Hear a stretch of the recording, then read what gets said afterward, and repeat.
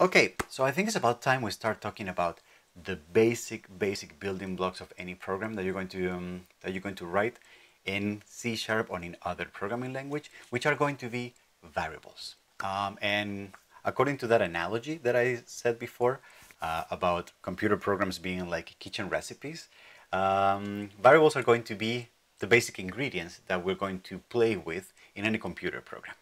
Variables are a way of storing memory, storing information in memory on the computer that then we can access at any time during the life of the program that we're writing and that we can also change dynamically during the execution of our program.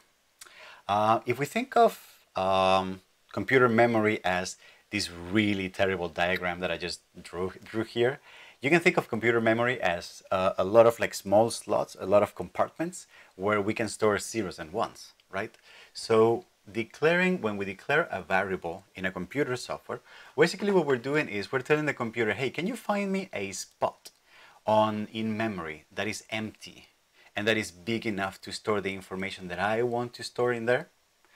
The computer tries to find that spot and then reserves that spot through the life of the program just for that one variable that we have specified. All right. And how do we specify that process? How do we tell the computer, can you find this memory space big enough for this variable and then store some information there?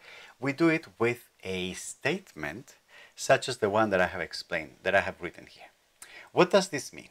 This statement has three main parts. First of all, it has uh, the part, it has the name of the variable. So here, this a that I'm writing in here is the name of the variable that I have that I have declared. So from here on, during the life of the program, this slot of memory with these four compartments here is going to be called A, which is a terrible name by the way, but it's called it's going to be called A. The value that I want to store in this memory spot, in this memory allocation, is going to be the value of the number 10. All right?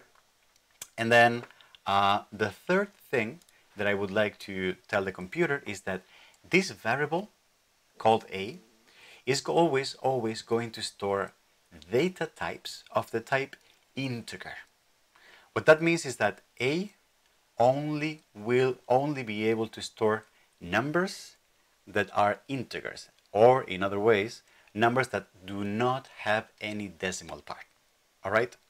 Um, the fact that we need to tell the computer, we need to tell the C-sharp compiler which type of information we're going to store in this, um, in this variable serves several purposes. One of them, for example, is the purpose that uh, given how given the type of the variable that we will store, C Sharp will be able to determine how much memory in the computer is needed in order to store that information. So for example, a very small uh, data type, such as Boolean, such as true or false, will require very little memory. However, a number with a lot of precision and a very large decimal part will require a bigger chunk of memory. Or, for example, a long paragraph of text will require a lot much more memory than just a simple number. And so on and so on. So um, so defining the type of a variable is very very important and it's something that we'll need to take a, to keep in mind keep in mind when we're working with C sharp. This the fact that C sharp is a strongly typed language and that's what this means it means that we always have to specify the type of everything that we work with is what it makes it is part of what makes it a middle level programming language uh, because lower level languages also have types. But for example uh, higher level languages like Python and JavaScript they do have types. But it's just that you don't have to specify them explicitly. And also during the life of the program they can change. Types for variables in C Sharp cannot change during the life of the program. If you say that a can only store integers, then you can only store integers in that value. If you need to store a number with a decimal part, then you will need to create a different variable. All right? So this is what this statement means.